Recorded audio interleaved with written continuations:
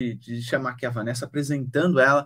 A Vanessa é formada em letras, como tradutora e intérprete pela Universidade Metodista de São Paulo, formada em business na República da Irlanda. Então, ela está na Irlanda. Nesse momento, certamente está com menos calor do que a gente. Ela é pós-graduada em filosofia e autoconhecimento pela PUC, no Rio Grande do Sul, no Brasil. Vanessa é fundadora do canal Garota Estoica no YouTube, o primeiro canal do Brasil criado por uma mulher e dedicado exclusivamente à disseminação de filosofia estoica. O canal conta atualmente com mais de 34 mil inscritos e mais de um milhão de visualizações. E a Vanessa dá aulas e palestras online sobre estoicismo e apresenta semanalmente o podcast Garota Estoica, inclusive um podcast que eu escuto também semanalmente. Vanessa, muito bem-vinda aqui ao nosso, nosso bate-papo, vamos chamá-lo assim. Tudo bem por aí? Tudo ótimo, muito obrigada pelo convite. É um prazer estar aqui com você, com essa galera. Vocês aí no calor do Brasil, eu aqui no friozinho da Irlanda. E cá estamos nós para um bate-papo gostoso, uma troca, uma conversa. Estou aberta às perguntas, espero que possa ajudar o máximo possível a todos que estarão acompanhando ao vivo ou futuramente depois no vídeo gravado. Boa, Vanessa. Olha, e aqui eu, eu fiz algumas perguntas lá no meu Instagram sobre o que, que eu queria que as pessoas perguntassem para você. Eu tenho aqui algumas perguntas que nós vamos aí deixar do final, porque nem todas estão tão relacionadas ao nosso tema. São relacionadas ao estoicismo, mas não relacionado tanto ao trabalho. Eu quero trazer um pouco dessa visão do estoicismo para mais para a parte profissional né? É, mas talvez algumas das pessoas que estão nos acompanhando aqui não saibam o que é estoicismo, talvez sejam apenas curiosos ou, tenham visto alguns vídeos por aí no YouTube e não tenham entendido bem. Então eu queria ouvir de você um pequeno resumo aí para o pessoal o que é estoicismo, afinal. Estoicismo está em alta no momento, então é provável que as pessoas tenham ouvido alguma coisa a respeito, e o próprio nome, a ideia de ser uma filosofia, muitas vezes assusta algumas pessoas e, e, e diminui o interesse pelo estoicismo. Mas o estoicismo, basicamente, foi uma escola filosófica que surgiu lá na época, no período helenístico, em cerca de 300 antes de Cristo, e tinha como principal objetivo trabalhar pensamentos, reflexões relacionados ao bem viver, como o homem, o ser humano, pode encontrar o seu potencial máximo. A filosofia estoica ela vai olhar para vários aspectos do ser humano, ela vai ser dividida em várias partes, mais precisamente em três partes, para que possa ser estudada. Foi assim que começou o estudo do estoicismo, lá no, no ano 300 a.C., mas ela tem um teor muito prático e é muito provavelmente por isso que estamos agora falando do estoicismo, é muito provavelmente por isso que as pessoas cada vez mais buscam estoicismo, porque é uma filosofia que nos ajuda a refletir sobre questões do, da nossa vida, ajuda a gente a refletir sobre os nossos próprios pensamentos, o que é algo extremamente importante e poucos fazemos, poucos fazemos. Uh, e, e, é uma filosofia que ajuda a gente a olhar para a vida com um pouco mais de objetividade também, o que também falta bastante em nós. Então, uh, apesar de ter sido iniciada há 2.300 anos, cerca de 2.300 anos, é, nós chamamos a filosofia estoica, ou vários preceitos da filosofia estoica, como atemporais. Nós os consideramos atemporais, justamente uhum. por isso, porque falam diretamente ao espírito do homem, independente da época em que esse homem viveu. É por isso que muitos homens, durante a história da humanidade, adotaram a filosofia estoica como a filosofia de vida, independente do período, do período é, histórico em que, em que viveram. Boa. Eu, eu cheguei a estudar um pouquinho da. No outro dia eu peguei ali um livro para ler e chegou numa parte ali do Império Romano e ele fala um pouco ali da parte do estoicismo, como ele viveu ao mesmo tempo junto com uh, uh, a ascensão do cristianismo lá no próprio Império Romano.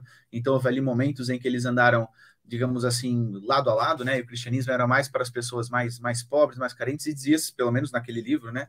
Não sou nenhum especialista em história, que o estoicismo era para pessoas que tinham um pouco mais de estudo, um pouco mais de, de conhecimento naquela época, que não era algo tão comum. Isso, isso, isso é verdade ou, ou é aquele ângulo do livro não estava certo?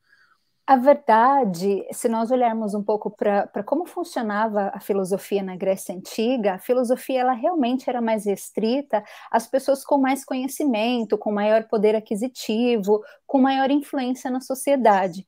Basicamente, a filosofia em, é, na Grécia, mais precisamente, ela era limitada aos, cidad aos cidadãos. E quem eram os cidadãos naquele, naquele período? Eram os homens nascidos na Grécia. Uh, em Atenas, por exemplo, os cidadãos atenienses eram os homens que, que haviam nascido em Atenas. Então, o, o que acontece é que se você era alguém uh, de fora, você não era considerado cidadão. Se você era uh, mulher ou, ou, ou, um escravo, você também não era considerado cidadão. Então, a filosofia realmente, ali no período antigo, ela é bastante limitada a uma classe específica. E isso, é claro, é, não acontece só ali no ano 300. Isso é, se pro, prolonga por um determinado período e chega também a Roma. Então, Epiteto, que é um dos filósofos históricos mais conhecidos do período romano, é, ele era um, um, escravo, na realidade foi um escravo liberto e teve acesso à filosofia por, por uma questão de, de, uh, de ser uma pessoa realmente muito fascinada pela filosofia, de ter uma facilidade com aquilo. Então, é, ele acabou sendo uh, permitido a estudar e participar das aulas de filosofia. Então, uh, se a gente for pensar na, na academia de Platão, no, no, liceu de Aristóteles, realmente um, um grupo mais seleto de pessoas Sim. participava de, dessas, dessas aulas. Mas um, por exemplo, quando a gente fala da, do início da filosofia estoica, quando falamos da estoar, então a filosofia estoica, inclusive o nome vem de estoar, ela, ela começa num pórtico, numa estoar, lá no centro de Atenas, e, e lá Zenão, que é o fundador da filosofia, ele falava com as pessoas que passavam ali pelo local. Então, é claro que uh, quem estivesse ao redor teria acesso a, a ouvir. Então, uh, eles dizem até que naquele período a filosofia é, estoica era conhecida, assim como a filosofia dos cínicos, uma filosofia mais de rua, uma filosofia mais uhum. aberta à população. Então, acredito, e aí falando da, das, das, minhas próprias leituras e pesquisas, não como historiadora, que realmente existia a filosofia mais é, é, limitada a um grupo seleto de pessoas, mas também existiam essas filosofias de rua. O próprio Sócrates ele andava descalço ali por por Atenas, falando da sua filosofia e conversando com as pessoas. Não falando da sua filosofia, mas conversando com as pessoas acerca daquilo que elas acreditavam que era verdade.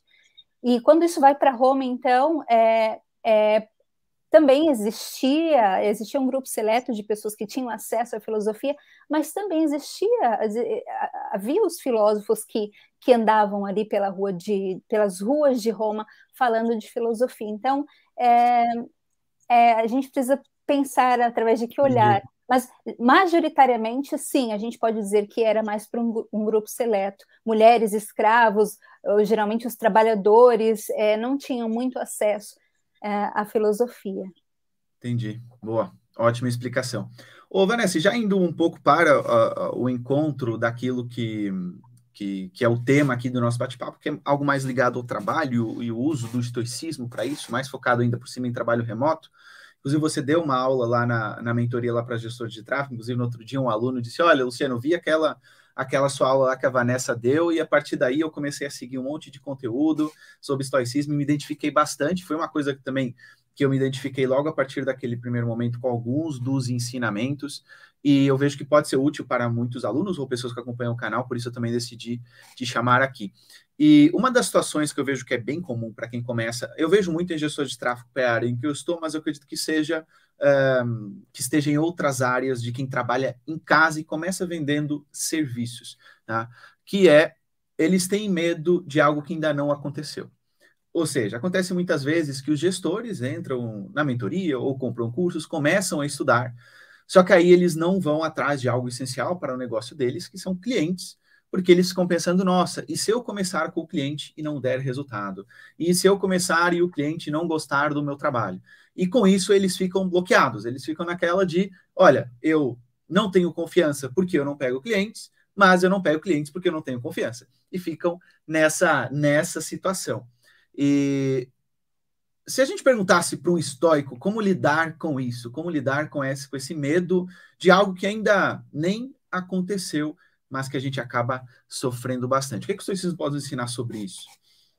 É um medo, é claro nós estamos falando agora diretamente do estoicismo no trabalho, mas é, é um medo uh, que está vivo no ser humano de forma ampla, que é esse medo do desconhecido, daquilo que ainda não aconteceu, daquilo que é incerto, não é? Nós temos uma aversão à incerteza, isso até por uma questão instintiva.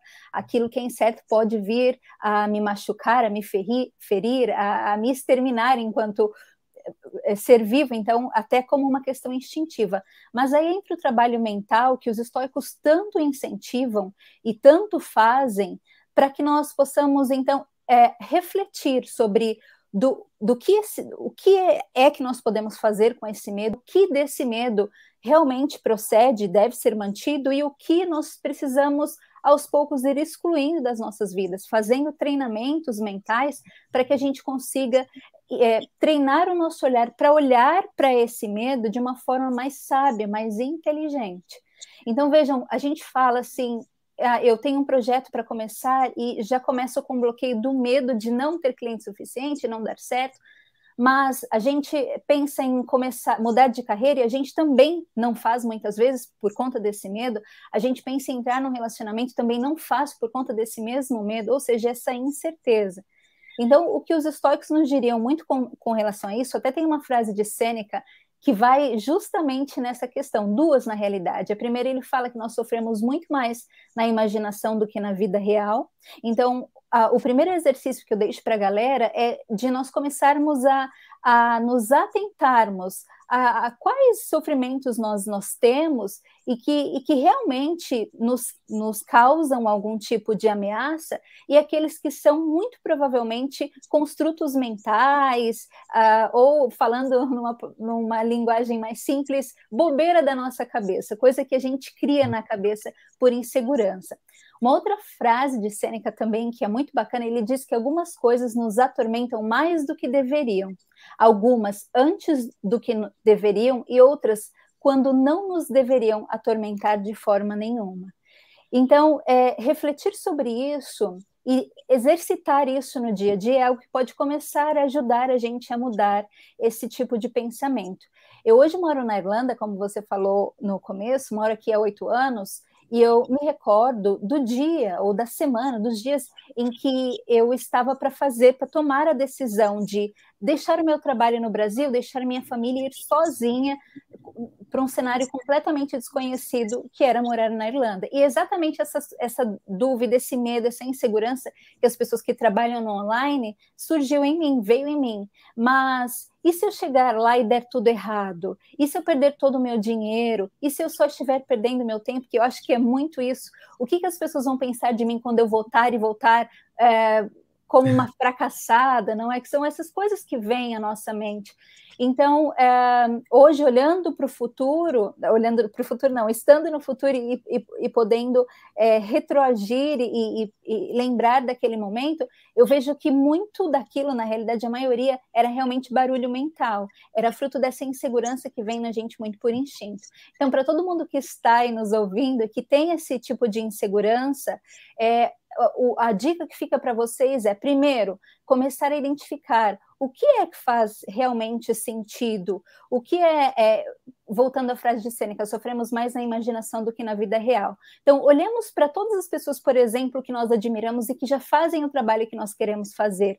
Eles também não começaram da mesma forma como começamos, eles também não passaram pelas mesmas dificuldades que nós passamos. Então, significa que não ter uh, cliente suficiente ou começar com um número baixo de seguidores é, automaticamente vai resultar em fracasso? Olhando para o caso deles, não. Então, um exercício que os estoques fazem é buscar evidências, evidências que embasem aquela nossa forma de pensar. E naquele momento ele não tem nenhuma, né? Porque ele, ele tem medo de pegar o primeiro cliente e de não dar certo, mas ele não tem evidências nenhumas que não vai dar certo porque ele nunca teve nenhum cliente.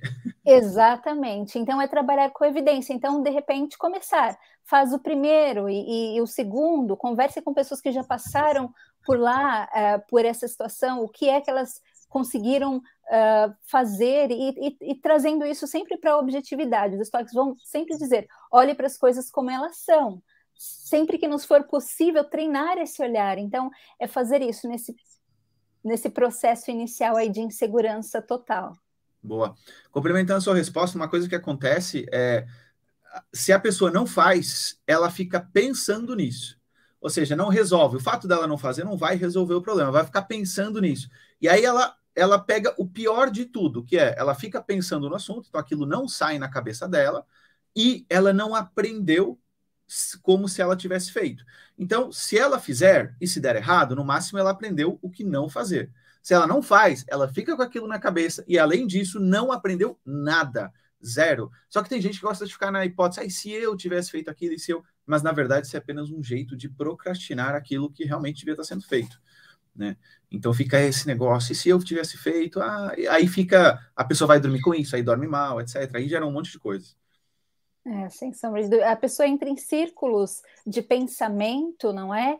Que ela não consegue sair daquilo, porque ou ela fica nessa ideia de, ah, e, e, se eu fizer e não der certo, ou eu não tenho cliente e ninguém vai ser, enfim, ou ela fica no círculo, como você disse, eu não uh, fiz e, e, não sei como o que eu teria aprendido disso tudo. Então, é, é disso que os estoques vão sempre tratar, para a gente tomar cuidado para não entrar nesses círculos que vão nos, nos causando mal, que, que não trazem resultados bons e positivos para a gente é, durante as nossas vidas. Boa. E tem uma frase no estoicismo que eu adoro e que eu já aplicava, o fato de eu ter jogado tênis a vida inteira, que era só se preocupe com aquilo que você pode controlar. E isso aí era algo que foi me ensinado desde que eu tinha lá 11 anos, é que meu treinador dizia, olha, tá vento, a bolinha não para quieta, bom, você não pode trocar o vento, então te preocupa em colocar a, a, bola na quadra de um jeito diferente, porque hoje está vento. Ah, o adversário joga com muita força ou muito devagar. Bom, não está no meu controle o que o adversário faz, tá? Com aquilo que eu faço com a minha bolinha desse lado. Eu gosto de trazer isso muito para os negócios, tem coisas que estão sobre o nosso controle, tem outras coisas que não estão. Inclusive, hoje, né, a gente tem essa questão da invasão da Rússia na Ucrânia. Muita gente fica preocupada, mas é algo que foge praticamente do nosso controle, apesar de causar muita ansiedade em muita gente. Mas uma, uma crítica que eu vejo muito ao estoicismo na parte de trabalho acaba sendo, ok, mas se eu só posso me preocupar com aquilo que eu posso controlar, eu não fico meio estagnado em termos de atitude, ou seja, uh, se todo mundo fosse assim, não haveria nenhum tipo de, de, de revolução, algum tipo de coisa, porque não está tanto no nosso controle. E no trabalho isso às vezes acontece também, né? Então tem coisa, sei lá, o humor do cliente eu não posso controlar. Como é que eu posso fazer, como é que eu posso agir mas ao mesmo tempo só só atuar em coisas que estão no meu controle sem ficar estagnado? Bom, Luciano, essa a resposta ideal para essa pergunta, ela vai um pouco mais profundamente, porque a gente teria que entrar na física estoica, entender o porquê que os estoicos pensam em tudo isso, e eu acho que fugiria um pouco do nosso tema, mas tentando re responder da forma mais objetiva possível, a, a forma como os estoicos olham para essa situação é, e aí existem dois termos que eu sempre utilizo para que as pessoas uh, memorizem e, e, utilizem isso na prática estoica, que é a aceitação passiva e a aceitação ativa. Quando os estoicos dizem aceite o que você não pode controlar e, e foque no restante, uh, as pessoas tendem a fazer uma interpretação um pouco equivocada no sentido de achar, ah, eu não posso controlar se eu vou receber um aumento. Então, nada eu vou fazer a respeito disso. Eu não posso controlar se a relação com o, o meu parceiro, com o meu pai, a minha mãe, vai melhorar. Então, nada eu vou fazer a respeito disso. Então, é, é, importante que a gente perceba que existe aí uma percepção, uma interpretação equivocada da filosofia. O que os estoicos dizem é que, olhando para o mundo objetivamente, fica claro a qualquer olhar que as coisas acontecem, que muitas coisas acontecem e que não podem ser controladas por nós. Então, é inteligente, é sábio aquele homem que durante a sua vida vai cada vez mais treinando. Você vai me ouvir falar sobre treinamento, sobre vai me ouvir falar uh, a palavra treinamento ou exercício sempre enquanto eu estiver fal falando de estoicismo, porque para os estoicos, a filosofia é um treinamento. Então, é, é você treinar, não é esse seu olhar para você ir percebendo ao longo da vida o que não faz sentido você se inquietar, inquietar o seu espírito, trazer para dentro de si conflito, uh, no sentido de que você não tem controle nenhum a respeito daquilo, ou o controle é muito baixo, é parcial, e, e atrelar todo a, a, toda a sua felicidade ou o sentido da sua vida ao resultado daquilo, à expectativa que aquilo aconteça como você deseja, é automaticamente se colocar como escravo, é automaticamente pedir para sofrer, sofrer, porque a vida não vai acontecer da forma como você espera. Existe um, um vídeo que eu fiz no, no, no, meu canal do YouTube, Garoto Stoica, em que eu falo uh, que uh, eu aprendi com Sêneca que a vida não assina contrato com a gente. Então, no sentido de que a vida não vai dizer para você, olha, isso vai acontecer exatamente da forma como você quer que aconteça. A vida não vai dar para você os pais que você quer, o cliente que você quer, é, não necessariamente a todo momento. Pode ser que aconteça, como uhum. pode ser que não. Então, é, é esse se, é, se harmonizar com é, essa, essa característica da própria vida e não viver brigando com relação a isso. E aí voltamos à questão do controle. Então, para quem está no trabalho remoto, para quem é, comece, eu sempre costumo utilizar o exercício do círculo do controle. Então, pega uma situação que, tá, que está te causando muita aflição, e aí você desenha é, um círculo. E aí você vai colocar dentro do círculo o que está sob meu controle com relação a esta situação específica. E a gente pode fazer isso para tudo na vida. E aí você vai colocar Uh, se o cliente vai aceitar a minha proposta ou não, está fora do meu controle. Se eu vou ter 20 clientes ou 5 no, prime no primeiro lançamento, no primeiro mês, ou enfim, no, no meu primeiro ano de trabalho, não está sob meu controle. Mas dentro do meu controle, quais são as, as ações que eu faço que podem me permitir é, ter um número de clientes que está de acordo com a minha meta, desenvolver um trabalho melhor. Então, é nisso. O que acontece, Luciano, e é isso o que Epiteto diz muito, é que a gente vive atormentado com tudo que a gente não pode controlar e com as coisas que nós podemos, nós simplesmente ignoramos. Isso é meio um jeito de desculpa também, né? Ou seja, de tirar da, da gente, uh, ah, não, eu não posso controlar, então, olha, não deu certo. Então, às vezes é um meio de, de fugir da responsabilidade também, né? Pode ser, pode ser. E, e às vezes não é nem intencional, é porque sim, a pessoa sim. não sabe fazer de uma outra maneira. Ela não foi treinada, mais uma vez a palavra treinamento. E é, eu, eu, lembro de ter dado uma aula, é, uma aula de estoicismo para o teu grupo já faz algum tempo, e eu mencionei justamente essa questão que as nossas sociedades, isso não é de hoje, é, já há muito tempo, nós somos treinados a, a, perceber a importância de certas coisas, mas não somos treinados a perceber a importância de outras. E uh, o treinamento mental na visão estoica deveria ser um, um dos treinamentos considerados mais importantes pelo ser humano, porque é o que vive dentro dele, é o que vai fazer com que ele olhe eh, o mundo de uma forma ou de outra.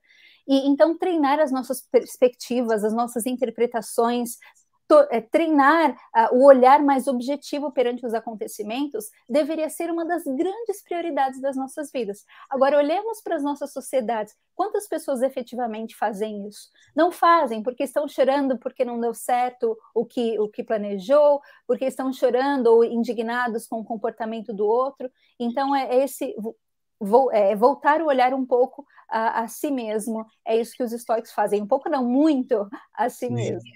Boa. Inclusive, você falava num, num podcast ser um exemplo de uma de uma senhora de quase os 60 anos que ela tinha, que ela foi, acho que, sua chefe, salvo erro, e você tem lá uma frase, né, que, que você fala que tem muita gente que a única a única demonstração de que viveu muitos anos são os cabelos brancos, nada mais, né? Porque a pessoa parece que internamente uh, não cresceu. Então é mais ou menos isso. Eu acho que falta, às vezes, uh, aprender a viver, né? Aprender a viver e aprender a lidar com, com, com a gente mesmo ao longo do tempo. E a gente acaba muitas vezes, e isso acontece muito no trabalho remoto, ficando muito focado só no trabalho. Tem muita gente que quer trabalhar em casa e diz o seguinte: pô, eu quero trabalhar em casa para ter mais tempo livre.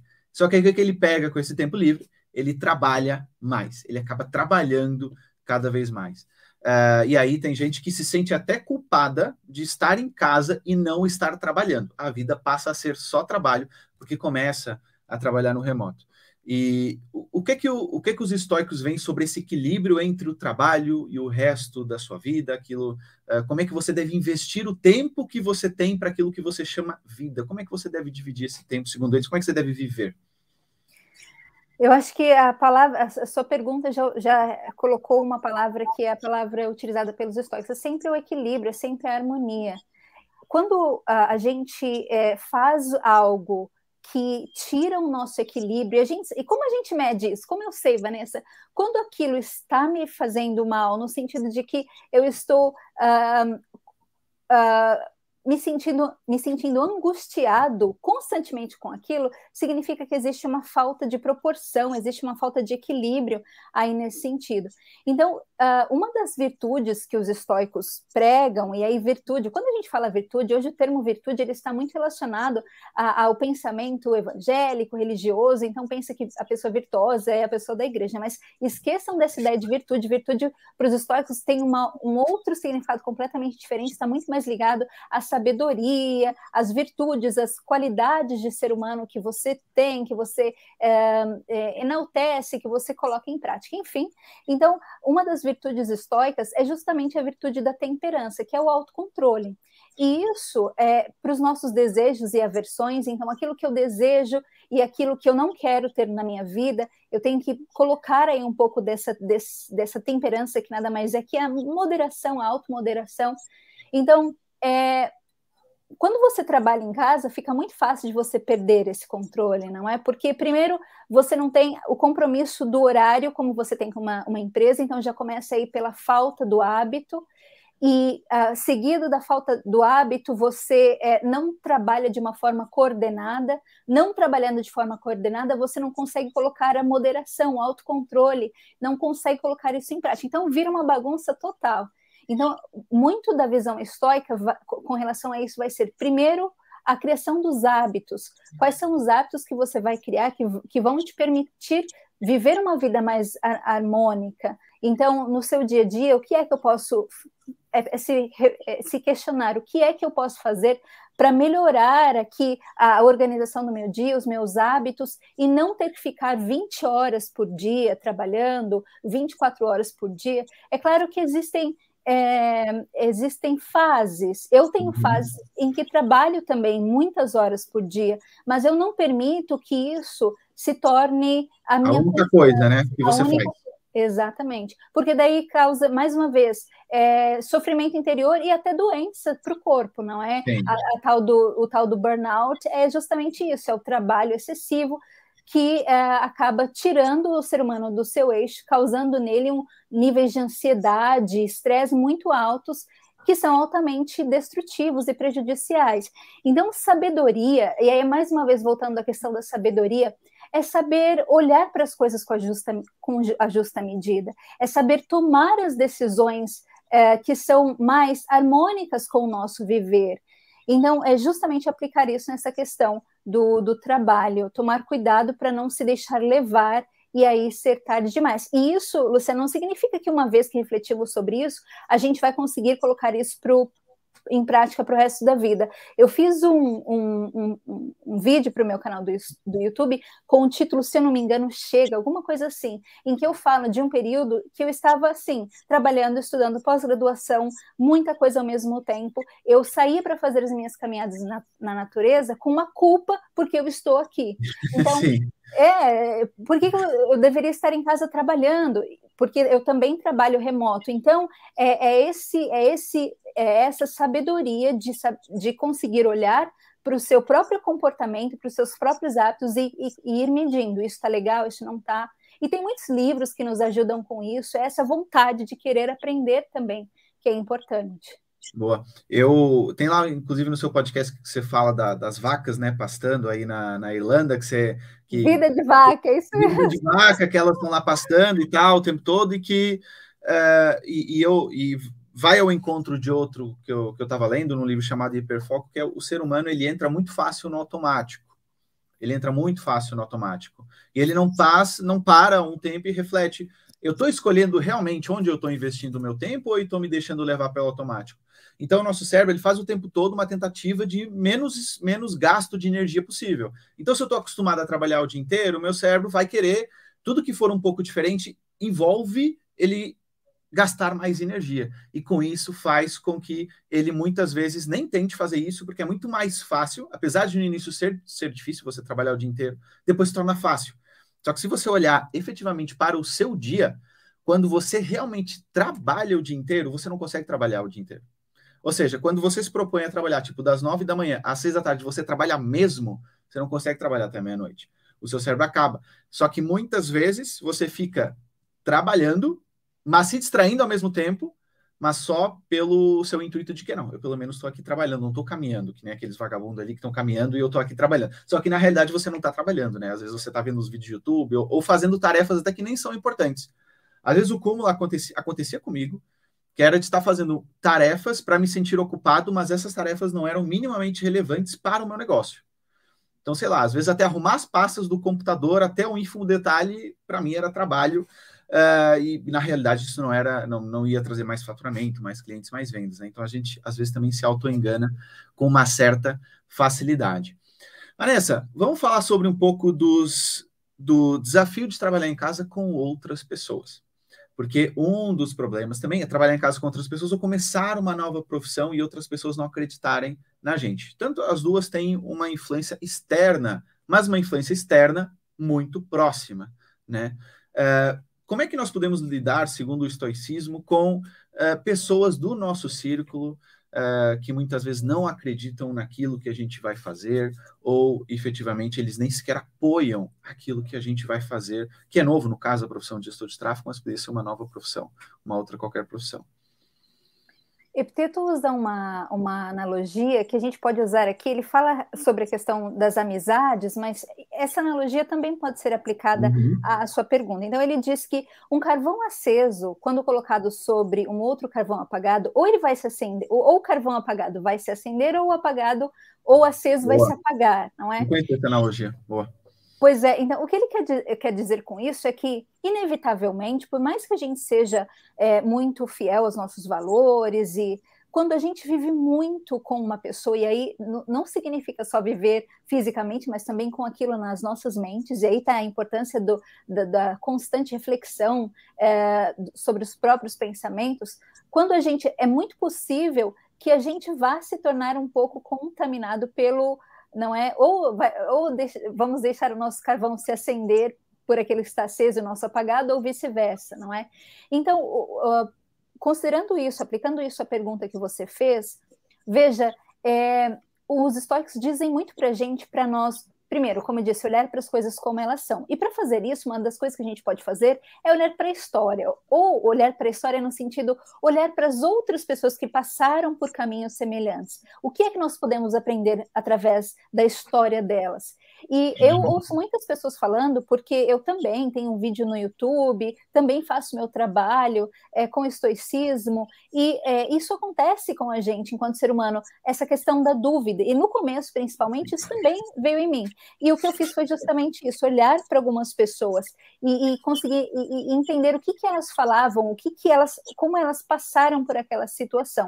E muitas pessoas falam que, principalmente as pessoas ao nosso redor, inclusive alguns filósofos brasileiros, assisti algumas palestras deles falando sobre isso também, é, que geralmente as pessoas ao nosso redor, os nossos amigos, não serão as pessoas que nos incentivarão diretamente ou é, que utilizarão o nosso produto, consumirão o serviço que nós of oferecemos ou o conselho que nós oferecemos. E por conta disso, pelo começo, nós podermos só contar com as pessoas ao nosso redor e às vezes muitas delas não, não estarem realmente ao nosso lado, nós já nos sabotamos, já acreditamos que aquilo não é possível, já começamos com essa visão muito uh, impactada pela visão do outro, pelo comportamento do outro.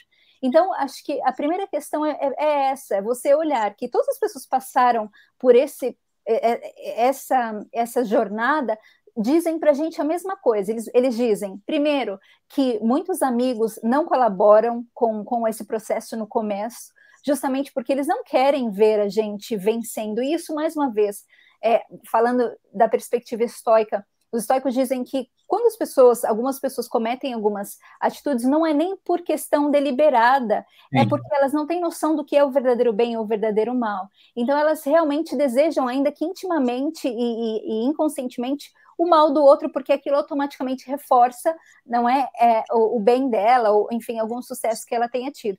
Então, a primeira coisa é essa.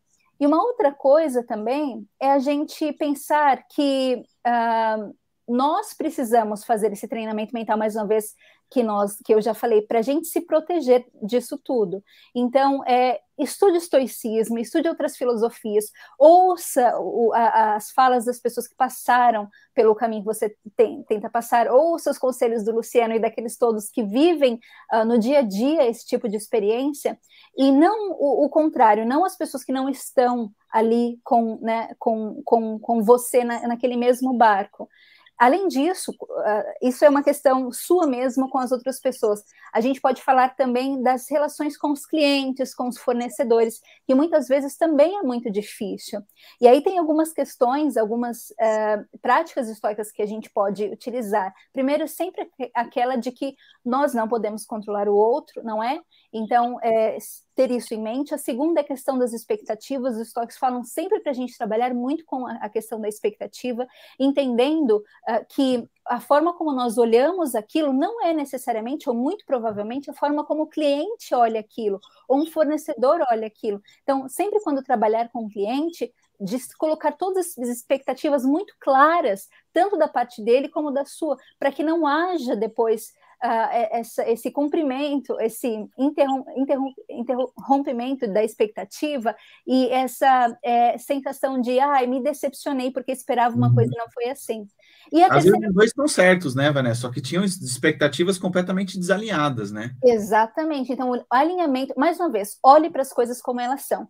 Para uma boa relação, o que é necessário? Não é, é necessário que as duas pessoas estejam claramente cientes do que se é esperado, do que se é negociado. Então, se é assim que funciona, então que eu aplique isso na minha prática diária. Então, para reduzir esses, esses conflitos aí com clientes e possíveis pessoas envolvidas no, ou pessoas da equipe, então é importante a questão, trabalhar a questão da expectativa, é importante trabalhar a questão do controle e é importante também trabalhar a questão do seu próprio treinamento mental para que você também não seja ali a pessoa causando o problema de toda a situação. Boa, boa. Essa questão da expectativa, inclusive, eu explicava ontem numa, na, na aula de mentoria, é, é que nem casamento, né? Você vai se o, relacionamento, você vai se relacionar com alguém e o sonho de um é pô, eu gosto de morar na minha cidade, não gosto de sair daqui, gosto dessa rotina. O outro é conhecer o mundo. Bom, por mais que vocês se entendam no primeiro momento, lá na frente não vai dar certo, porque um vai querer conhecer o mundo, o outro não vai querer sair da sua própria cidade, algum quer viver, um quer viver na cidade no campo. Então, os dois podem estar certos, né? Não é errado querer morar a vida toda na cidade, querer viajar o mundo. Só que as expectativas ali são completamente desalinhadas e elas são muito fonte das nossas frustrações. E, Vanessa, eu tenho uma última pergunta aqui para você, antes de abrir aí, pessoal, inclusive podem ir deixando as perguntas que a gente está quase batendo aqui no nosso tempo, que é o seguinte, e, e, e a gente agora fa vai falar de expectativas, mas de expectativas próprias e quando só nós temos controle dessas expectativas. Por quê? Muitas pessoas, quando começam uma nova profissão, começam com grande entusiasmo, veem todas as possibilidades dessa nova profissão. E tem, uma, tem um, um, um livro que eu li agora que é, é Um Ano em 12 Semanas, e ele fala é, sobre, essa, sobre essas fases que existem, né? Que ele fala que você começa na fase 1 com o otimismo desinformado, então você é uma pessoa, pô, vi ali aquela nova profissão, aquela nova realidade, estou extremamente otimista, só que você está desinformado sobre ela. Depois você vai para a segunda fase, que é para o pessimista informado. Então você começa a ver, putz, agora eu tenho uma noção dessa informação, mas já começa a ser pessimista, porque o primeiro cliente eu mandei mensagem não respondeu, o outro não respondeu.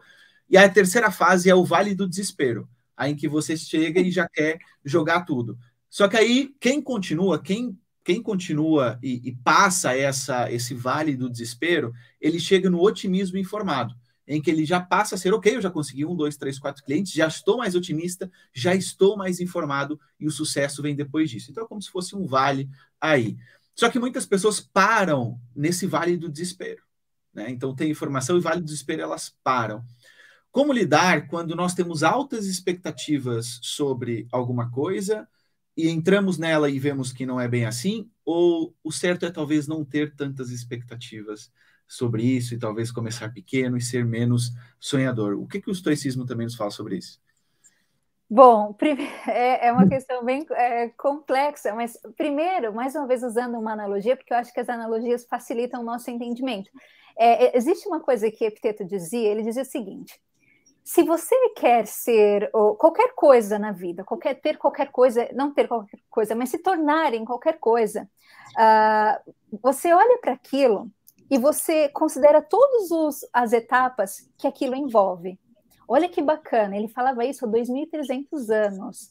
E ainda hoje, Luciano, a gente não consegue fazer isso. Então ele dizia assim, ó, e é claro, naquela época, os competidores, os atletas, uh, eles eram não é, os considerados homens muito uh, disciplinados, porque tinham que fazer muito treinamento e tal. Então ele dizia, ele dizia, pegue, por exemplo, o caso de um treinador olímpico, não é? De, desses que praticam esses esportes de competição daquela época. É, o, que, o que demanda de você para que você é, chegue a, ao nível de uma pessoa assim. Então você vai ter que abdicar de algumas comidas, você vai ter que fazer certos exercícios que vão demandar muito do seu tempo, você vai necessitar de um treinamento mental para você lidar com toda. Você vai passar por várias etapas. É, agora se pergunte: você está ciente dessas etapas em primeiro lugar? E ainda assim você quer continuar? Você quer realmente seguir esse caminho? Então, voltando àquela sua questão de que as pessoas entram assim, ah, empolgadas, não é? E depois acabam é, é, se, é, se com uma falsa expectativa. Um choque de realidade, um né? Choque, aí... Exatamente, um choque de realidade, e aí se decepcionam. E aí, se nós aplicássemos isso que Epiteto nos diz, já evitaria muito desse processo. Talvez não tudo, porque o aprendizado muitas vezes se dá realmente claro. na prática, né? Uhum. Mas já melhoraria muito esse processo para a gente. Então, o que envolve isso? Quais são as dificuldades das pessoas do começo? Qual a probabilidade de pessoas que, que têm um, resultados diferentes? Então, a resposta que eu daria à sua pergunta, mais do que tudo, seria treinar o nosso olhar para olhar para a situação de forma objetiva e com aquilo fazer o melhor que você puder daquilo que está sob seu controle.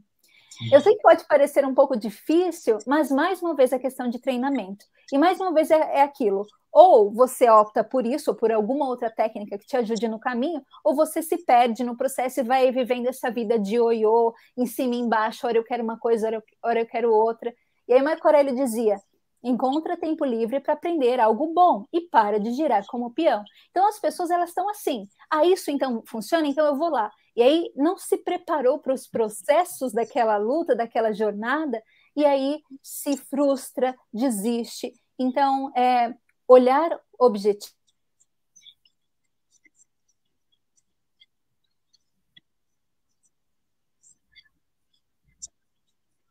em contar para a gente mesmo. E a gente está todo momento se contando mentiras e, e, e, assim e querendo acreditar naquilo e ignoramos qualquer sinal que nos mostre que aquilo é uma, é uma visão distorcida, não, porque a gente realmente tem até um termo na, na filosofia, na, na, é, na filosofia, na é, psicologia que, que fala sobre isso, não é? Então, é, nós precisamos. Hoje de manhã, inclusive, eu estava a, a, estudando um pouco sobre isso, que eles chamam de confirmation bias, são aquelas coisas Sim. que a gente tenta, né? É, não olha para aquilo como realmente é e tenta buscar algo que confirme aquilo que a gente acredita, naquilo que a gente acredita. Então, é, observação objetiva, considerar os cenários como realmente são, se dar conta de que você é um ser humano, que tem coisas que você pode controlar e, e outras que não. É, entender, tem uma frase que os estoicos usam também, que eles falam muito a questão do destino, não é? Eles diziam fate permitting, em inglês, que diz o destino, a vida permitindo. Entender também que, enquanto ser humanos, nós fazemos parte desse todo aqui, e enquanto parte desse todo, muitas coisas estão suscetíveis eh, de acontecerem. Então, pode acontecer uma coisa que está completamente fora do meu controle nesse processo. E aí, uma pergunta, Luciano, que eu sempre deixo para os meus alunos quando estudam estoicismo comigo, que é, é essa, galera, prestem atenção, que é o seguinte: quem serei eu quando? Isso é uma pergunta que qualquer estoico vai fazer. Por quê? Porque a gente não, não se treina para agir quando os cenários uh, estiverem em conflito com aquilo que era esperado por nós. Então, quem serei eu quando uh, eu queria cinco clientes e não consegui nenhum, ou consegui um? Quem serei eu quando esse pessimismo bater em mim, não é? Quem uhum. serei eu quando um cliente for é, grosseiro comigo e me disser, enfim, quem serei eu? Então, essa é uma, um, um, esse é um exercício que eu sempre deixo para os meus alunos de estoicismo. Quem serei Boa. eu? Compartilhando aqui com a galera agora. Considerem e utilizem com sabedoria, galera. Boa. Inclusive, temos aqui o Cláudio, que está num trem em Portugal e está ouvindo aqui a, a nossa, a nossa live. Eu, eu gostei muito dessa frase, e isso vai ao encontro de uma coisa que eu até estava refletindo no outro dia, que é qual, a gente estava falando dos valores da marca, né? Dos valores da marca Luciano, quais são os valores que a gente defende ou que estão mais relacionados com a marca. E depois isso está muito relacionado com os meus valores enquanto pessoa. E eu, eu passei assim, nossa, mas eu nunca pensei dos meus valores como pessoa. Eu nunca parei para refletir sobre isso. Quem realmente sou eu? O que eu valorizo? Uh, então eu ia em coisas no automático, sabia que eu gostava de fazer esporte, de ler, de dar aulas. Uh, não sou uma pessoa que goste de grandes luxos financeiros. Para mim, o grande luxo é liberdade. É... Então, uh, eu nunca parei para pensar nisso. Quais são os meus valores? Mas isso é muito legal porque isso te define principalmente nos momentos menos bons. Né? Então, se eu digo que eu sou uma pessoa persistente e lutadora, e na primeira dificuldade eu, eu já digo que, pô, eu não sou bom e vou desistir, eu não estou vivendo os meus valores, né? Então, foi um exercício bem legal que eu vi num livro, que era, pô, escreva aqui os seus cinco valores principais, que são para você inegociáveis, né? Inegociáveis. Então, achei bem legal esse exercício que também propunha propunha aí no, no livro. Boa, Vanessa, eu vou pegar algumas perguntas aqui. Eu sei que a gente tinha combinado os 45 minutos, então vejo como está o seu tempo. Pode ser meio no estilo bate-pronto, tá? Em que a galera deixou aqui no Instagram. Então, deixa eu só puxar aqui. A galera do YouTube que está assistindo ao vivo também vai ter a possibilidade de deixar aqui algumas dúvidas, obviamente, quando a gente estiver online. Então, se você está aí com, com a, a vontade de fazer uma pergunta, aproveite que o momento é agora. Boa. É, pergunta aqui: como começar a estudar estoicismo? Uh, eu sugiro sempre começar pelos livros clássicos, ir direto à fonte. Quando falo de livros clássicos, me refiro aos livros escritos pelos estoicos, eh, Sêneca, Epiteto, Marco Aurélio, exatamente. Lembrando que, Mar, que Sêneca não escreveu as obras que, que nós temos hoje, eh, foram escritas por um pupilo, um aluno dele, mas representam uh, os, os, pensamentos de Epiteto, é assim que os historiadores analisam a obra. Uh, então, é, essa é uma forma. Eu fiz um vídeo lá no meu canal do YouTube falando é, um pouco sobre a, os cinco livros que eu indico para quem está começando do zero. E por que cada um? Eu conto um pouquinho da vida do, de cada um desses três estoicos, Sêneca, Epiteto e Marco Aurélio. Então, deixo como sugestão que vocês assistam lá as cinco recomendações de livros para iniciantes. Mas, basicamente, eu sugiro que vocês comecem com os livros clássicos e também assistindo aos vídeos, ouvindo a, a podcasts, enfim, e vai Boa. aos poucos se familiarizando com os termos e com a filosofia. Boa. Eu vou recomendar que vocês deem um passo atrás naquilo que a Vanessa recomendou. Comecem pelo podcast dela e depois vão para os livros. Porque, gente, esse livro aqui foi um diário que o cara escreveu há mais de dois mil anos. Ou seja, como vocês devem imaginar, não está escrito do jeito que os livros atuais estão escritos, né? E tem uns negócios aqui que você abre um parágrafo, você lê três vezes, não entendi. Aí você vai ler de novo, aí você pensa, como é que é possível? O cara escreveu, eu estou lendo na meu idioma e eu não consigo entender. Então você começa a ficar um desconforto. Para quem não está acostumado a ler tanto, pode pegar nas primeiras páginas do livro desse e dizer, olha, isso aqui não é para mim. Então, talvez se você pegar as traduções que a Vanessa faz, por exemplo, no podcast dela, desses ensinamentos, em que ela pega um ensinamento, ela traz para o cotidiano, traz para o dia a dia, talvez seja um jeito melhor de você começar, a minha recomendação. E aí, depois você curtir os ensinamentos, vai para esses livros aí, porque você já vai ter mais vontade, você não vai desistir tão facilmente. Tá? Então fica a minha recomendação para vocês. Comecem pela tradutora e depois. você não está falando muito, basicamente, é, comentando no que você disse. Muitas pessoas dizem assim para mim: eu li esse livro, odiei. Agora, você falando disso, estou lendo novamente, estou amando. Então, porque realmente é, a gente não tem o, o, o olhar treinado para entender realmente a, algumas pessoas, não é? Para entender a filosofia. E então esse treinamento às vezes realmente se dá com uma pessoa contemporânea, colocando aquilo no dia a dia, facilita uh, o, o, o, processo. Então, cada pessoa é diferente, façam o que vocês consideram que, que né, para vocês. Mas eu acho bacana essa dica do podcast e dos vídeos, porque são é, situações do nosso dia a dia, é, é, a filosofia estoica aplicada realmente ao cotidiano. Então, acho que isso uh, ajuda também no entendimento. Boa. E a pergunta aqui da Gabriela: considera importante a prática de meditação ligada ao estoicismo ou não tem qualquer relação? Então, quando a gente fala de meditação, é importante a gente entender o que se quer dizer com meditação, porque como meditação é uma, um termo amplamente utilizado por diversas, diversas filosofias, inclusive algumas religiões, tende a distorcer um pouco. Os estoicos, sim, faziam muito uso da, da meditação. O nome do livro de Marco Aurélio, Meditações, não é por acaso, apesar dele ter escrito a mim mesmo, quando os estoicos falam sobre meditações, eles estão dizendo justamente sobre esse refletir sobre a vida, sobre esse pensar do pensar, é, essa atenção aos nossos pensamentos, atenção ao que vai nas nossas cabeças. Então, nesse sentido, os estoicos só fazem meditações. Então, sim, as meditações são extremamente importantes. Boa, boa. Até porque meditação, o pessoal costuma uh, ligar ao fato de você parar e ficar respirando e não pensar em nada, mas você pode meditar sobre a vida, né? Então você vai parar e você vai refletir um pouquinho ou sobre o seu dia. Então existem várias formas de meditar que não apenas aquela de que você para e fica respirando, o seu objetivo é não pensar em nada.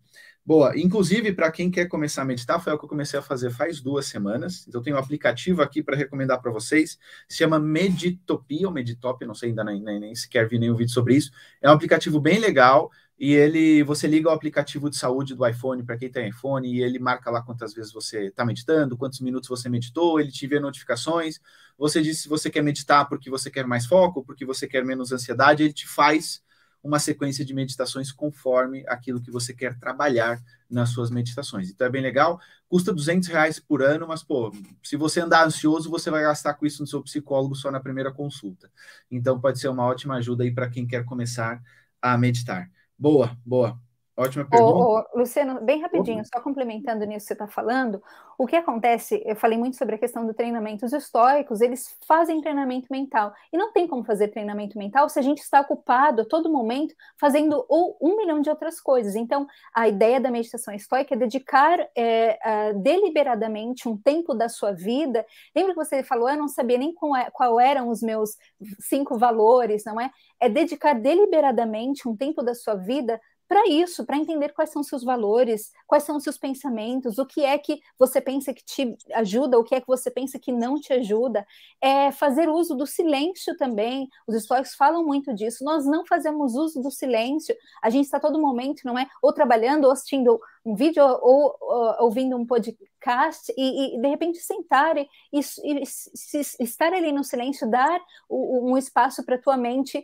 se acalmar também e, e, e, depois voltar. Então, todas essas questões também podem estar relacionadas à questão da meditação. Sêneca falava: vá fazer caminhadas na natureza e, e, permita que com essas caminhadas os teus pensamentos eles sejam nutridos e, a tua mente ela, ela possa ser é, é, refrescada, digamos Sim. assim, não lembro a, a, palavra que ele utiliza, mas nesse sentido, não é? De, de, de, de meditar, de, de, de de trabalhar a mente, mas não no sentido pesado só da, da situação, não é? Boa, boa. Tem uma pergunta aqui do Rodrigo, a gente dá aqui prioridade para quem deixa as perguntas aqui ao vivo no YouTube. Três mudanças depois da filosofia estoica. Então, o que, que você, como é que você era antes e o que, que você, três coisas aí que você mudou. Eu depois falo três minhas aqui. Enquanto você vai falando, eu vou pensando. Tá. Sem sombra de dúvidas, a questão da ansiedade, quando você começa a entender que existem coisas que você não pode controlar, um, um, enorme peso sai do seu ombro se você de fato exercita isso e tenta praticar isso no seu dia a dia. Então, questão da ansiedade, a minha relação com as outras pessoas, é entender que uh, o mundo uh, não precisa olhar para.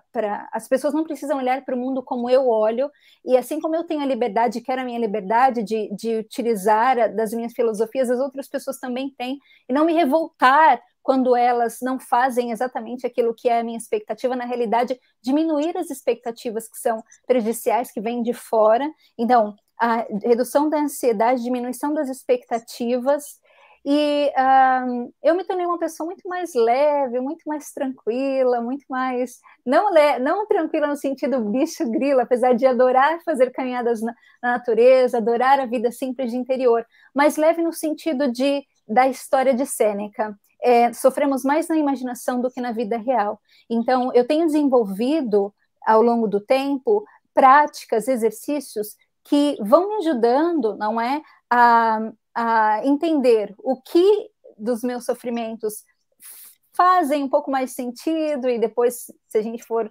tratar isso da forma estoica, realmente chegando ali não sabe, não existe mais nenhum sofrimento, porque tudo o que é de fora não causa, causa nele mais sofrimento, mas a gente está falando aqui da gente que estamos começando, que estamos não é ainda no caminho da sabedoria, que estamos tentando aprender. Então, é, eu diria que essa leveza interior, é, ela é impagável e é um dos, dos grandes benefícios uh, que a vida, que o estoicismo me deu. Olha, para mim, está, um, um, dos grandes foi o reforço da questão da gente se preocupar com aquilo que está no nosso controle. Então, por exemplo, há pouco tempo aconteceu um problema nos negócios com uma pessoa próxima e a pessoa teve uma atitude péssima. E aí eu pensei, bom, mas não está no meu controle a atitude dela, né? Está no meu controle o que eu posso fazer perante essa situação, como é que a gente pode resolver isso. Só que às vezes a gente, qual o problema? A gente gera expectativa que o outro haja do mesmo jeito que a gente considera correto de agir. E, na verdade, isso, isso que gera a frustração, não é o ato em si, é que a gente esperava que a pessoa agisse do mesmo jeito que a gente agiria, mas a outra pessoa não é nós e nós não somos outra pessoa. Então, essa leveza aí realmente acabou, acaba por dar mais uma tranquilidade. Se você traz uma situação caótica mais para o racional, ela te dá uma tranquilidade muito maior, muito maior mesmo. É, outra coisa para mim que é, que deixou, depois que eu comecei a, a, ler, não sou nenhum especialista no assunto, apenas um curioso, mas foi a questão de viver uh, o dia com a máxima uh, intensidade, ou seja, ter a noção de que, pô, isso aqui vai terminar em algum momento, então vive o seu dia uh, com o máximo que você pode viver, mais ou menos, não, não literalmente, mas como se fosse o último, de certa forma, aproveita, né, como se naquele dia tivesse uma vida inteira para você viver. Então foi algo, foi algo também que fez, fez grande diferença aí comigo nos aprendizados. Beleza? Deixa eu só falar uma coisa bem rapidinho que eu esqueci, mas isso é tão importante, que é a questão da, do, da, do memento mori. Eu não posso falar, eu não posso deixar de mencionar isso. Ah, eu tinha uma relação completamente diferente com a ideia da morte antes do, do estoicismo, mas assim, 100% diferente. Então, uma, uma das coisas que o estoicismo mudou muito em mim, me ajudou a mudar, não é? Porque nós que quem mudamos, e não a filosofia em si, a filosofia está lá e alguns fazem uso dela outros não, mas uh, essa questão da, da, da, percepção da morte, primeiro de não de não criar aversão à morte, entender a morte como parte da própria vida, e isso mais uma vez é um peso que sai dos nossos ombros, porque a gente vive muito aflito e angustiado com a questão da morte. E o segundo, é, a segunda questão da morte é utilizar a nosso favor. Em, em que sentido?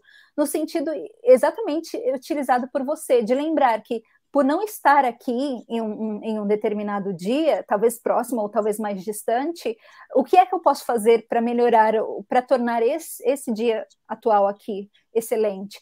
Eu voltava da academia há uns dois ou três dias e no caminho de volta eu passo sempre eh, em frente a um cemitério e na hora que eu estava passando parei no semáforo e uma moça parou um carro e saiu com um, um, um buquê de flores gigantesco, tão grande que eu não conseguia enxergá-la, muito grande mesmo. Então ela entrou no cemitério com aquele buquê. E aí eu fiquei pensando, um dia pode ser um dia será uma pessoa levando, e eu espero, ou talvez não, mas independente disso, um dia será uma pessoa levando aquele buquê para mim. E aquilo, Luciano, fez assim meu dia se transformar. Então, não com medo, com raiva, porque a vida tem a morte, porque um dia eu não estarei mais aqui, de forma nenhuma, mas justamente percebendo, poxa, se um dia serei eu a receber aquele buquê de flores, não é?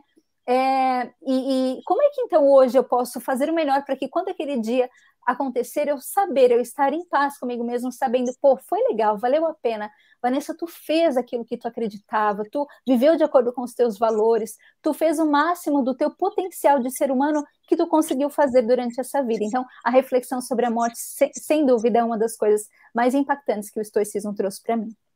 Boa. Muito bom. Vanessa, muito obrigado pelo seu tempo, muito obrigado por ter estado aqui com a gente. Turma, onde é que as pessoas podem te encontrar, Vanessa?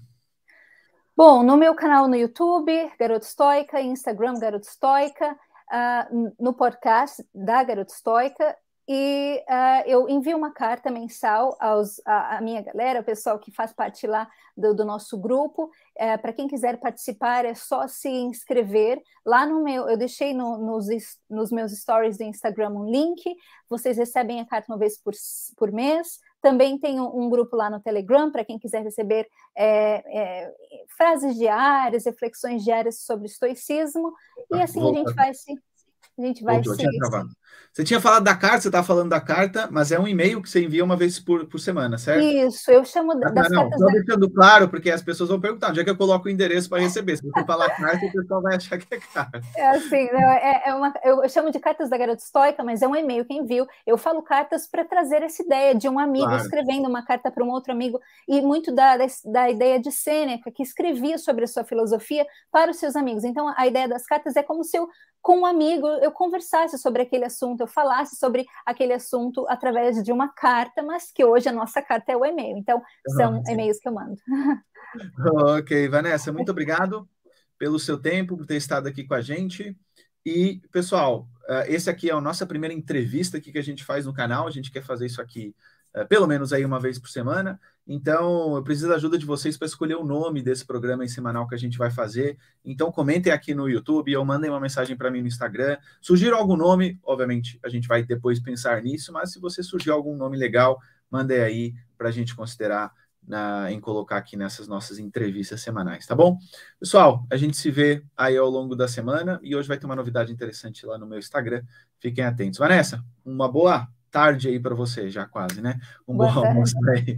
Tá bom, pessoal? Um abraço. Muito obrigada, muito obrigada. Até mais. Tchau, tchau. Tchau.